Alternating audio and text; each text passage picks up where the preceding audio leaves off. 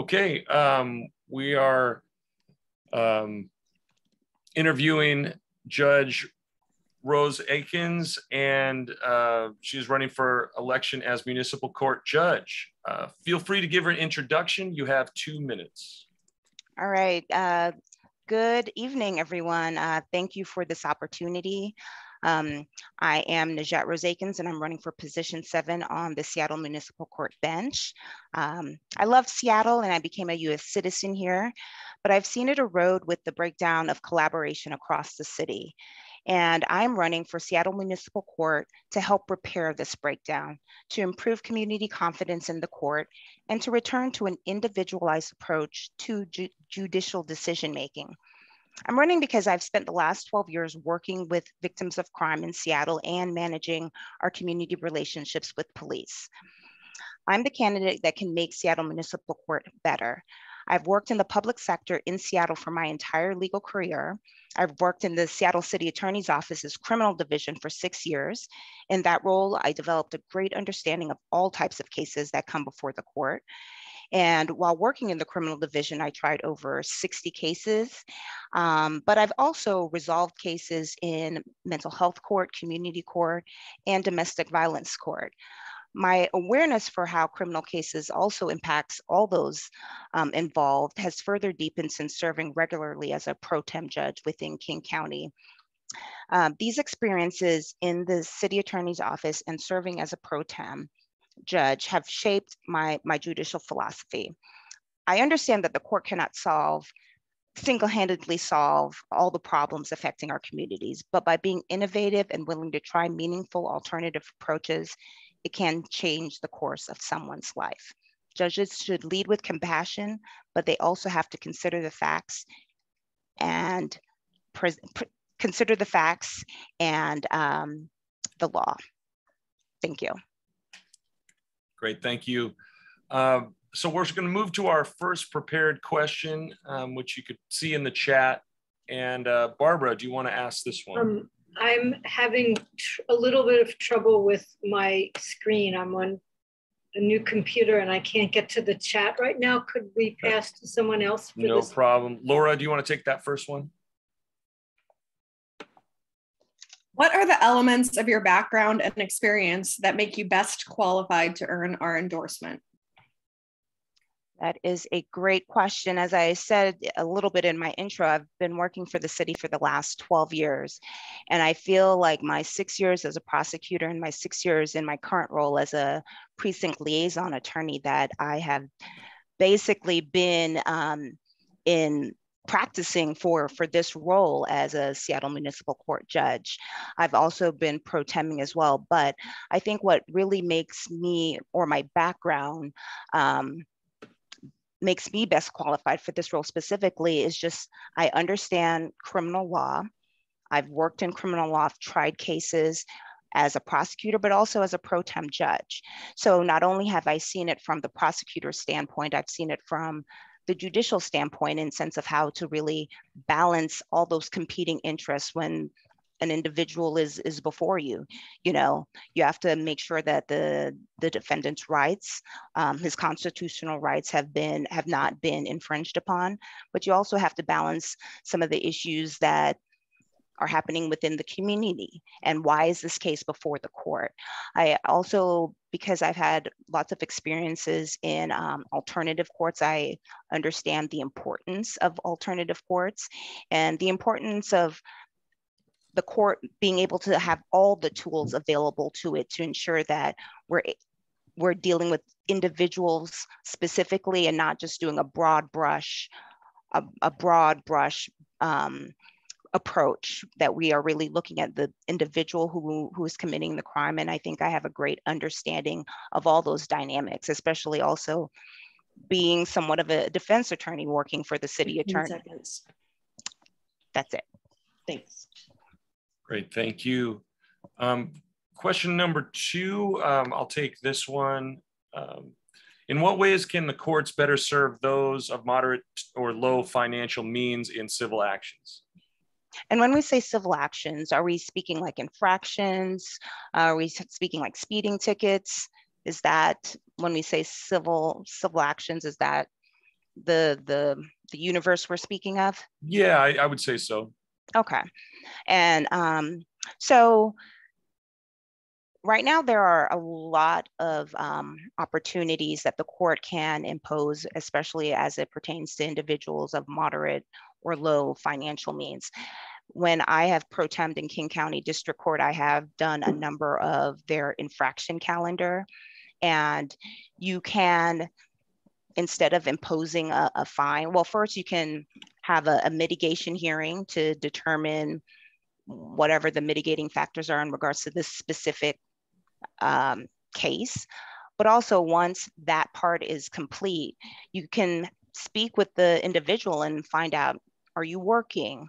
Are you uh, trying to find work? What, what's happening? And what are, what are your financial means right now? With infraction cases specifically, a lot of them, a lot of individuals are pro se. They're not, they don't have private attorneys coming in to, to speak on their behalf. So um, things that I have imposed specifically are um, doing mitigations, imposing um, community service where people can serve at their churches or wherever, and also um, putting an option of whether or not people want to do a hybrid, maybe partial payment and, and community service.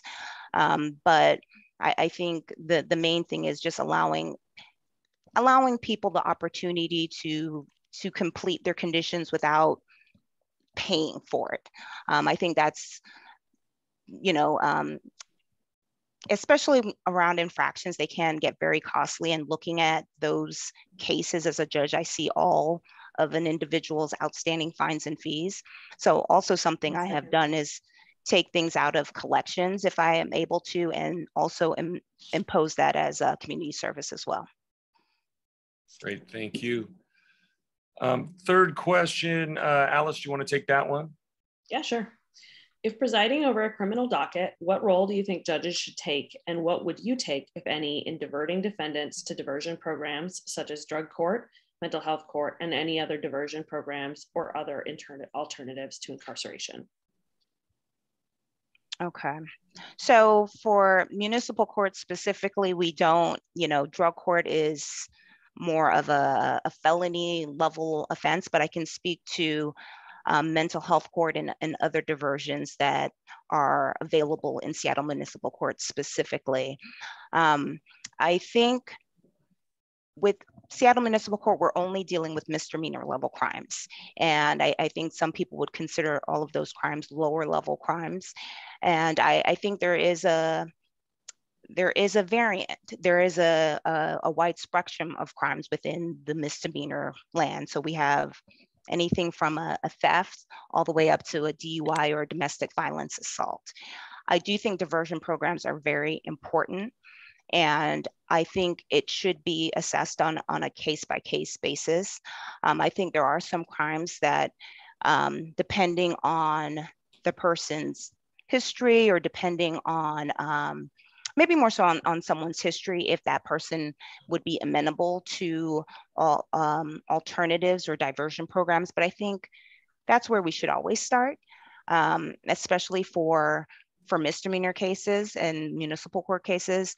That's why specifically I am running for for Seattle Municipal Court because I think I can actually um, really help that court to really be put forward more meaningful programs as it pertains to its um, diversion programs. So I think diverting defendants to programs, I think that's where we should always start. As I said before, like all the tools should always be on the table for for all individuals or all defendants that are committing crimes. Um, but I think it's it's it is going to be a fact specific and whether or not an individual is is interested in going that route. Great, thank you. And we'll move to the fourth and final question. Barbara, are you yeah. available or do you, uh, maybe Laura could take? It? Barbara, you're good. Okay, go ahead.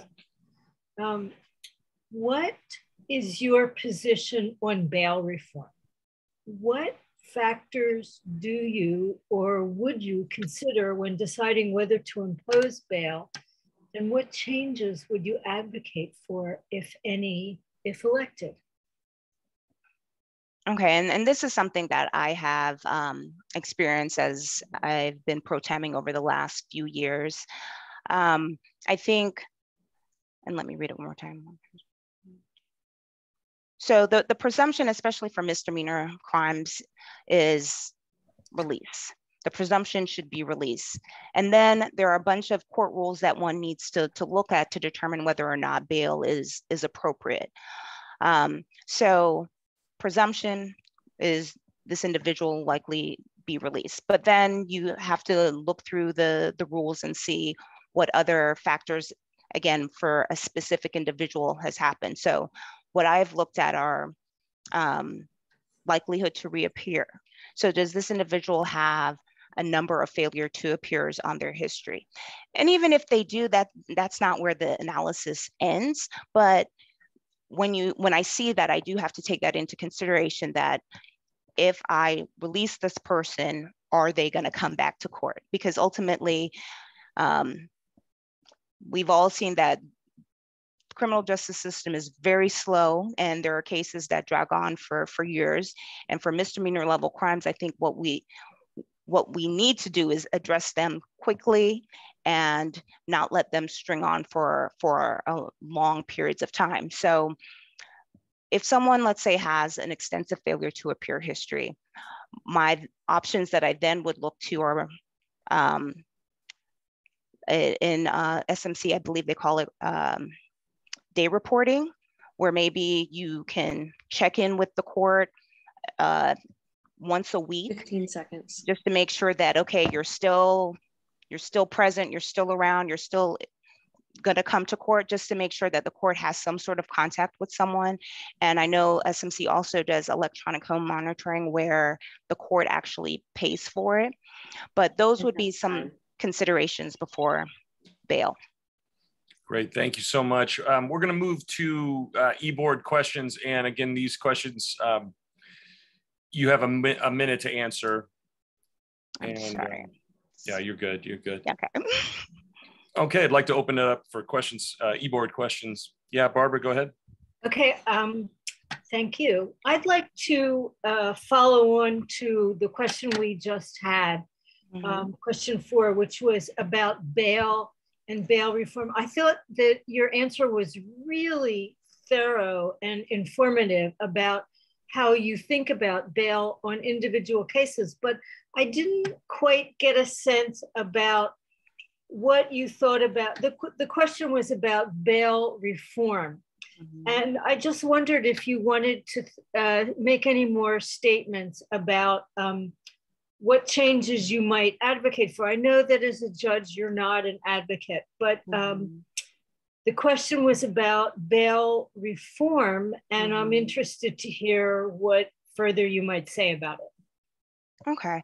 Um, I'm always trying to make sure that I don't run afoul of any judicial canons. So I, I, I will put it this way. I think Washington uh, State and um, King County especially has done a, a good job at really um, looking at bail and the considerations as to why prosecutors um, request bail. I, I, think from an individual standpoint, um, I believe, give me a second. And what changes would you advocate for? Um, 15 seconds.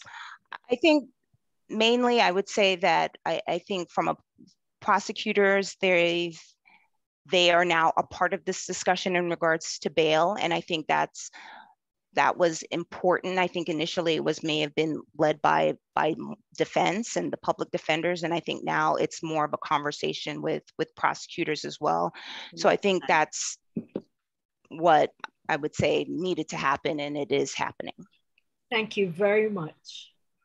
Great, thank you. Other questions?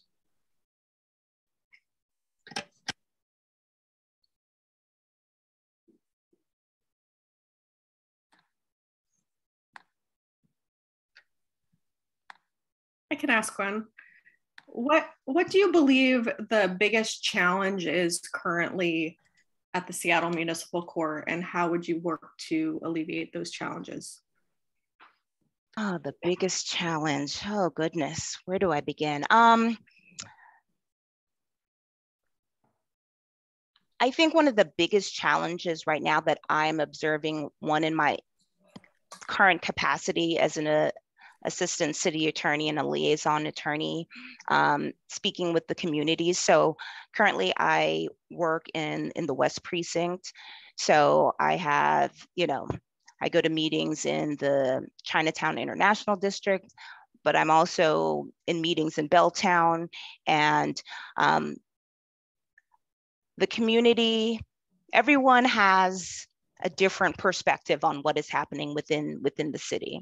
And I think for the Seattle Municipal Court, I think the biggest challenge right now is people don't even quite understand what they do.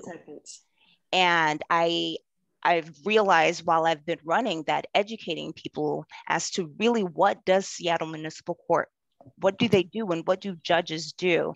Um, because I, I, think that's really a, a gap.